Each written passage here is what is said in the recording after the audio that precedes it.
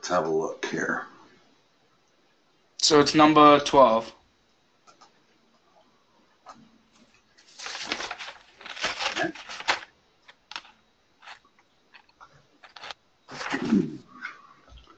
Domain is the easiest. Okay? And the reason is, is that even if they give you the function, it's relatively easy to figure out what values of x would violate rules of mathematics. So if I had y equal 1 over x, I would know that x cannot be 0. Could be anything else. So domain is always what x can be. Well, when you're looking at a graph and you're trying to, figure out domain, train your eyes to look right and left. When you're looking at range, you want to look up or down. So if I'm looking right and left, that's the domain. What is the allowable domain for this function? Um, infinity? Yeah. Negative infinity to positive infinity. The easier way to say that is to all reals. But but see how the line's going through on the x-axis? Doesn't that have something to play into it? No. Look at this. No. It's got an arrow on the end of it. Okay. That means it goes all the way to negative infinity on the x-axis. Same way it goes to positive infinity on the x-axis. Just because it's pointing up doesn't mean it doesn't continue to move to the right. And it does forever. Okay? Okay. So domain is real clear. There's nothing that x can't be. I don't have any vertical asymptotes that I'm crossing. I don't have any uh, square roots of negative numbers that I'm dealing with. So domain is all real numbers. Now, when we're looking at range, we want to train our eyes to look up and down only. So if I continue that forever and I continue that forever, what are the allowable values of range? Negative infinity and positive infinity? Yes, all reals again. There are no restrictions. There is no value of y that this thing cannot attain if you look at that graph. Okay? Now, let's look at the next one. What is the domain on the next one? What are all of the values that x can be? Uh, positive infinity Hold on. and Hold on, hold on. Always, no. First of all, you always start from the left. okay. If we're going to deal in interval notation, let's deal in it. Can this thing Uh, be minus 4? No. Can it be minus 3? No. Can it be minus 2? No. There's minus 2 right there. Remember, we're looking horizontally. We are talking Okay. about domain. So I'm look I'm training my eyes to not even see the vertical. We're just looking horizontally. It can be minus 2. It's minus 2 right there. So that's the first value it can be. And it actually needs a bracket, not a parentheses, because it actually can be minus 2. It doesn't just have to be to the right of minus 2. Now, as I move to the right, how far to the right can it go? To infinity? There's your domain.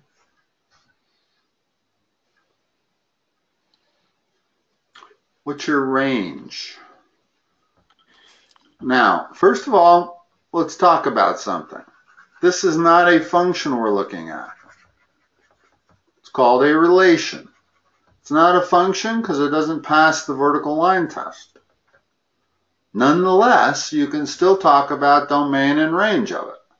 We certainly had a domain of it. What's the range? Look up and down. How far up can y go and how far down can y go? Mm, three. Only that thing has an arrow on it. And because of the direction it's pointed, that means that it goes to positive infinity on the x-axis and that it actually goes to negative infinity on the y-axis. So this thing Okay. goes all the way down to negative infinity and it goes all the way up to positive infinity and it covers all values in between. All right. Very important you see that. In other words, can y be 6? Well, not on this graph, but if I continue this thing far enough to the right, you bet. There'll be a y value of 6. Can y be 6 million? Yes. I just got to go far enough to the right. And y will eventually be 6 million. And y goes to infinity on both sides. Okay? Now, because you're struggling a little bit with it, um, let's do some rather simple ones. What's the domain? And then I'll graph this thing. This is hyperbolic.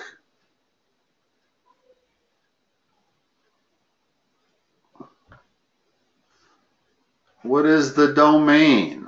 Look horizontally.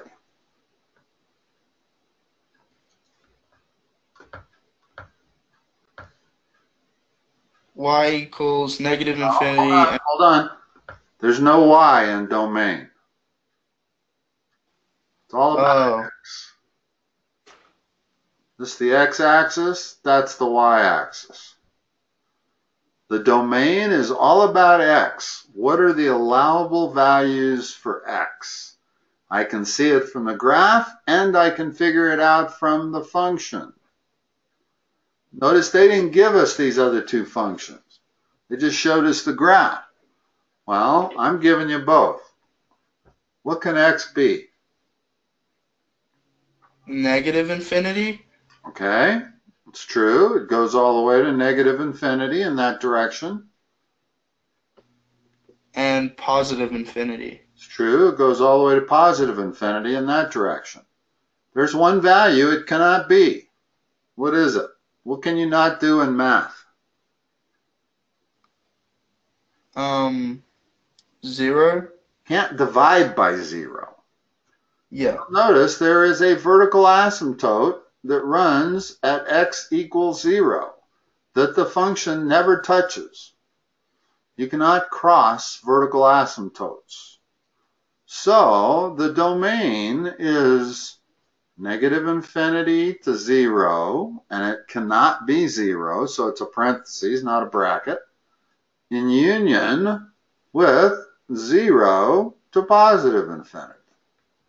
So that's domain. Now there's also a horizontal asymptote on this function. Notice that it's very difficult to make y be zero. What would you have to let x be for y to be zero? There isn't any number. In other words, a function is only zero as if this numerator is zero, and that numerator is one. And if you look at the graph of it, look, make your eyes look up and down. What is what is y's available, or excuse me, allowable numbers? Negative infinity and zero, and then zero and infinity. Yep. It's the same thing as the domain on this function. Okay? Now, if I make it a little bit more complicated, and I said y is equal to 1 over x minus 1, what about the range? Or, excuse me, what about the domain? What's the domain? It's the same hyperbolic function. I've just shifted it to the right one. Um.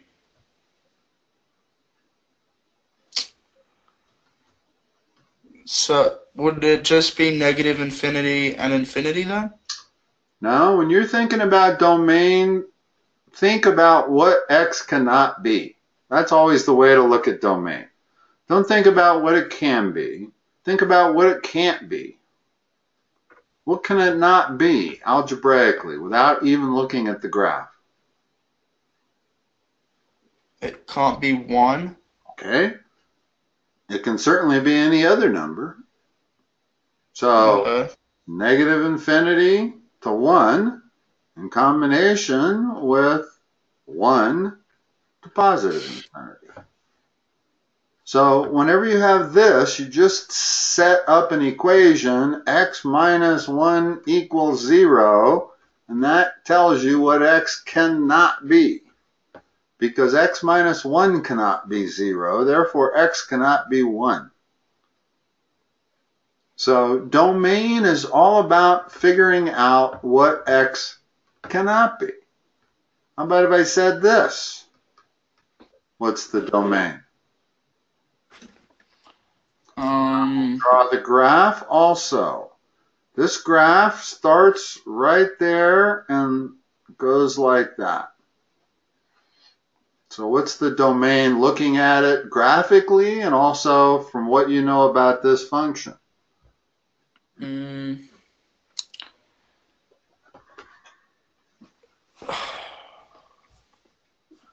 Look at it Uh, graphically. Let's start there. We're talking domain, so look left and right.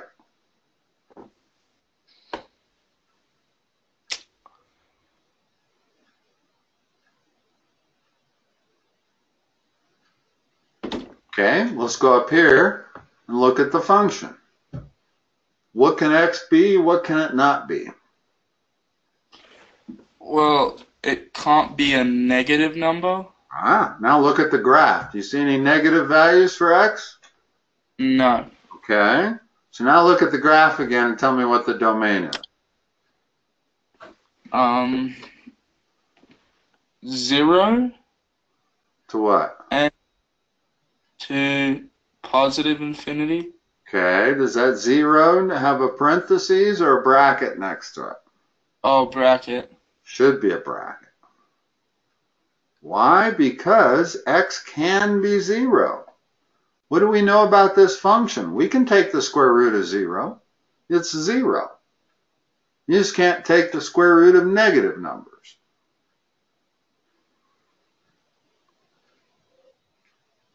Have you had imaginary numbers yet? Um. I don't think so. Okay. We won't talk about that then. Uh, when you're talking domain and range, you're talking about you cannot take the square root of negative numbers. You can take the square root of zero. So, both from the function and my graph, I get that as the domain. Now tell me the range. Um. Look at the graph, look up and down. What can y be?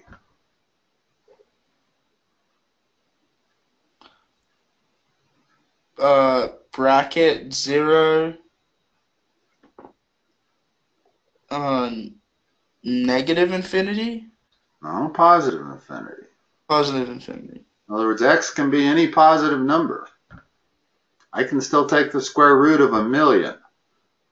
I can take the square root of a billion. Cannot take the square root of negative 1. So again, the domain and range are the same, but that's not that often. I keep giving you basic functions where the domain and range are the same, and uh, that's rarer than it is common. I'm just happening to give you basic elementary functions. And basic elementary functions are a good way to teach you about domain and range. Okay? Now, if I had something like this,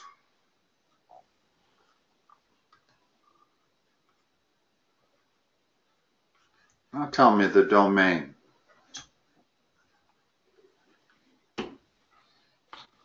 Um.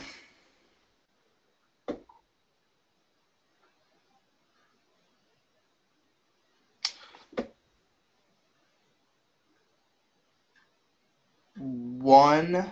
Not one. It can be a half. What's wrong with the square root of a half?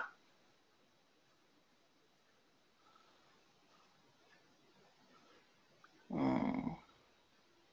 In other words, it can be any fraction as long as x is not zero. Well, now hold on. Let's take this one step at a time. The last one I gave you was this one. Okay? And the only restriction was x had to be greater than or equal to zero. Well, this is very similar, but not quite. In other words, we still have the restriction that you can't take the square root of negative numbers, but can x be zero in this second case? Yes. Well, the square root of zero is zero, which would have you dividing by zero. That is the first rule of math. And I, I mean that for 2,000 years. The first rule of math is you shall not divide by zero. So in this case here, the domain is restricted even more. It's not x is greater than or equal to zero. x has to be greater than zero. In other words, I can't have this denominator being zero. Up here, I'm fine with x being zero. Square root of zero is zero. y is zero. But down here, I can't divide by zero. So this domain is more restrictive. This goes in other words, this is 0 to infinity, whereas this one over here is bracket 0 to infinity. Okay. Okay. So let's move on.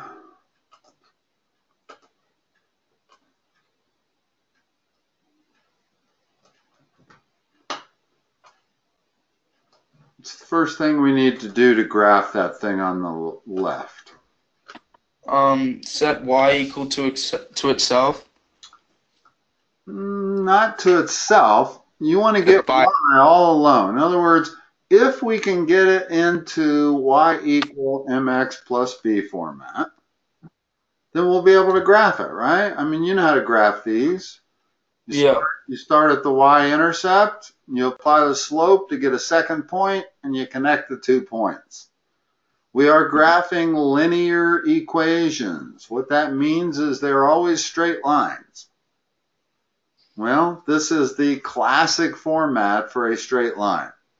So turn this function, excuse me, turn this equation into where it looks like this. What do I got to do with that 3x? Subtract it. Okay, so what do you get? So you got y equals 5x minus 7. Okay, can you graph that? That's in that format right there. That's y equal mx plus b. m is 5, b is minus 7. So where do we begin? How do we graph this? Um, where do you start? Whenever you're graphing, go ahead. Negative 7. Okay. One, two, three, four, five, six, seven. That point is on our graph. Find me a second point on the graph. Um, negative 2, negative 1. I'm not sure where you got that from. The best way to do it is apply the slope. Slope is 5 in this case. Slope Yeah. is rise over run, so it's 5 over 1. So all you got to do is go up 5 and to the right 1, and you'll get your second point. Is that what you did? Yeah. So I go up 5 and to the right 1. That is 1 negative 2. Is that what you said? Yeah. even realize it because I wasn't sure you had applied the slope to get that point. We did. Now we have two points, and two points make a straight line. So all you need is a straight edge, run it between those, and you got your graph.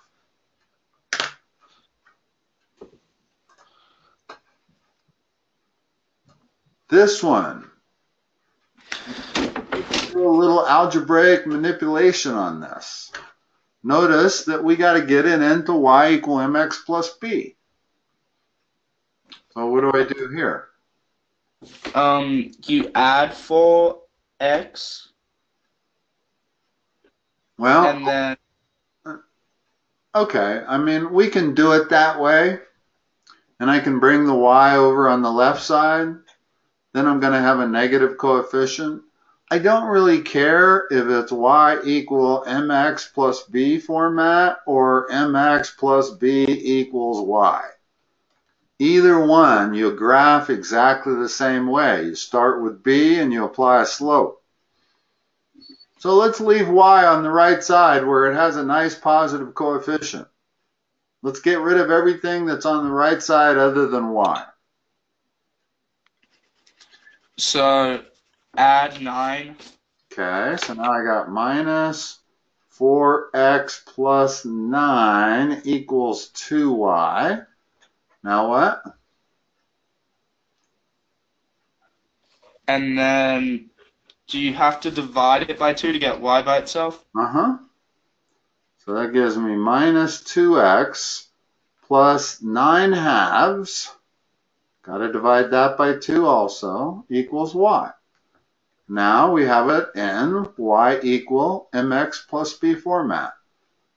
Where do I start the graph? Um, at minus two x. No, you start at b. The y-intercept. b is the y-intercept. That's b. That's a number, always. But I thought, isn't the equation just backwards? Doesn't matter. I'll, Oh. I'll put it like this if you if it makes you feel better. They're both the same thing. Yeah. In other words, Okay. I don't need the y on the left to be able to graph this thing. The only two factors I'm using to graph it are b and m. So who cares whether the y is on the right side or the left side? Okay. Okay, so I'll we'll put it like that. Now where do you start? Um, so now you start at nine over two. which is four and a half. One, two, three, four and a half, right there. Okay. Now, how do you apply the slope? T- tell me Um, up and down, right and left. That's how you apply the slope. Uh, And you can do a bunch of things. I can go up and to the left, or I can go down and to the right. Either one of them gives me my second point that's going to give me my line. so up two to the left one. Okay. So if I go up two, that's right there. And if I go left one, does that give me the right slope, the right sign on the slope? Words, the, the most important thing is, is after you graph it, check and make sure if your slope has the right sign on it. In other words, we're looking at a negative slope there, and it should be negative. But if you went up two and to the right one, you'd have a positive slope, which would not be correct. We can see Okay. right here that the slope is negative. So a lot of students will say up and over. And the reason they get away with that, you wouldn't think anybody would get away with that, but 95% of the students in Colorado, that's what their answer is, is up and over. And every one of them might say, well, up and over which way? Because it matters. Up and to the right is not the same as up and to the left. And Yeah. it doesn't matter as long as you end up with the slope that you know it has to be. In other words, if I'd have gone up and over to the right, I'd ended up with a positive slope. Well, I can see it. It can't be positive. It's got to be negative. So I got to go either up and left or I got to go down and right. Notice they're the same. Up and left is the same as down and right. Yeah. It gives me that same line. Okay. All right. I I think that's all I have time for tonight. Okay. That's fine. I will talk to you tomorrow at what I say, four o'clock. I think so. Yeah, I think it's four. All right, Locke. All right. Bye bye. Thank you. You're welcome.